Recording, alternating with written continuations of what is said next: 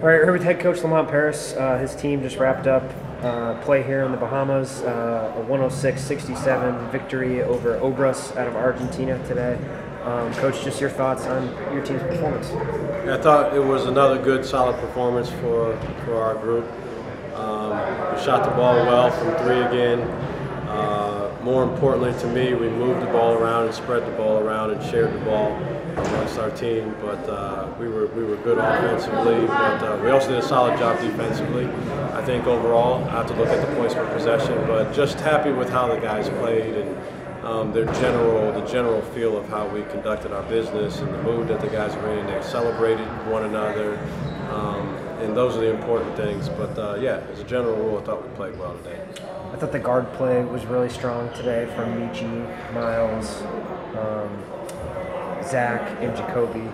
Um, just talk about your backcourt because I think that's probably going to be a strength for this team uh, Yeah. as we get uh, closer to the season here. Yeah, we got a lot of guys that can that can handle the ball and uh, make plays and make decisions, and that's uh, as you know in this league, that's very important.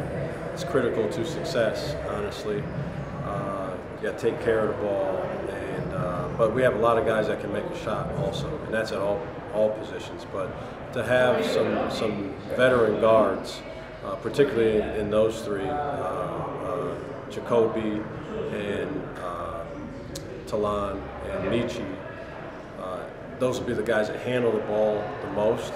But then you follow that back up with some guys like Myles, who's been around a lot, and uh, Zach's coming into his own um, as a perimeter guy. And so uh, I'm really happy with that core. Um, they've done a good job, and they they they, uh, they also we can I think we'll be able to pressure the ball a little bit more than what we have in the past and stay in front of the ball a little bit better than we have in the past. So I'm excited about what they bring to the table. You mentioned uh, Jacobi there. Um, listed as a captain the last two games on here. Um, did you actually?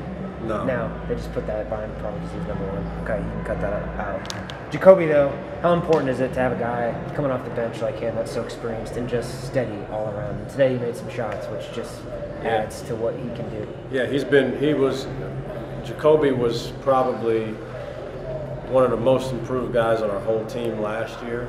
And, and he's fighting for that again this year because he continues just to be confident um, and have a high level of belief in himself. We also have a high level of belief in him.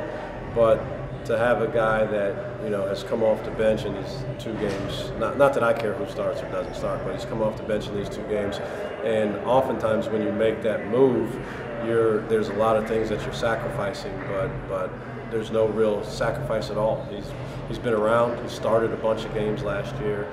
And so again, just to have another experienced, tough guard, he made some, some really good defensive help plays for us, and um, he's just a pleasure to be around. I enjoy coaching him, and he tries to do whatever we ask him to do. Um, a couple of the new guys, new transfers, BJ Mack and Stephen Clark. BJ really solid, 14 points, uh, eight rebounds, five assists. Stephen had 10 rebounds to lead the team.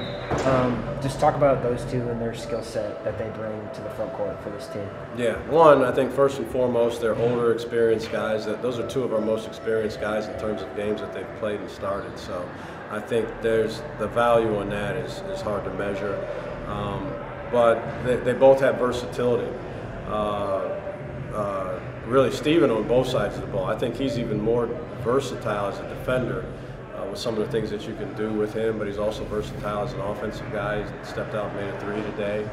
Um, and then BJ is, is like a, a fun tool to have in your toolbox. Uh, Swiss Army knife on the offensive end. He can he can uh, shoot the ball. He can play back to the basket.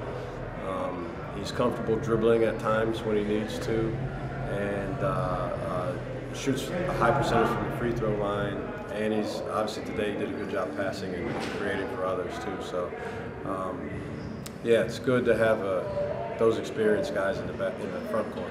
Uh, two freshmen today, Collin Murray Boyles, 16 points, Arden Conyers, uh, 10 points, both Columbia kids. Um, just how pumped. We talked about Collin yesterday, but Collin today, very efficient, 7 for 7 from the floor, 2 for 2 from 3. Arden came in there, did some things on both ends of the floor. Just Yeah. how excited are you about those two guys? Yeah, love our young group. I love our young group, and, and it's not just those two, but um, but those two played minutes in today's game and went out there and were able to perform, and so I was happy that they were able to do that. Um, you know, Collin had a real tough finish one time. They both still have some growing pains defensively. That's par for the course for young guys. But man, I'm super excited about what the future looks like for both of those guys and and uh, the impact that they'll have moving forward for this team and this program. And great kids, by the way, just great kids to be around. I really, I'm, I, I can't say enough about how happy and how excited I am that, that they're on our team. Um, man, it's been a really productive summer.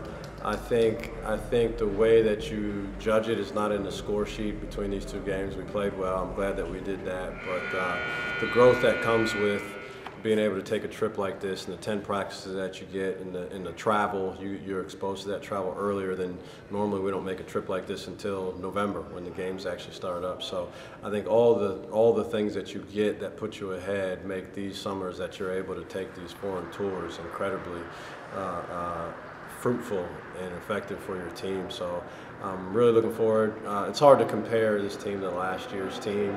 It's just two different things. But I, I, again, I do think any time that you have the luxury of having one of these trips and the practices that go with it, you're going to be a little bit ahead.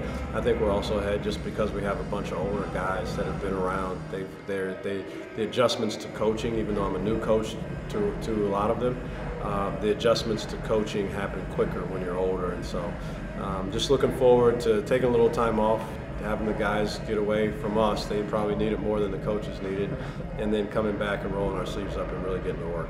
Real quick, uh, there's a number of donors that made the trip. Uh, some of the guys' families were able to make the trip. You guys took a big group picture with everyone out on the court. How cool was that to have so much support down here in the Bahamas for Game, for your Gamecock basketball team? Yeah, it's awesome to come down here and have families that are able to uh, enjoy this with us, and our fans and boosters that are able to enjoy this experience with us. Uh, again, the smallest part of this probably is the actual basketball games.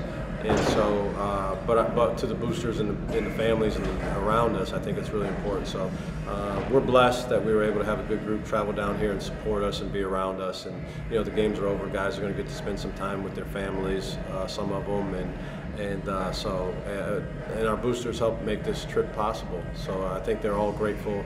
I'm really grateful for the opportunity and can't wait to get back to Columbia.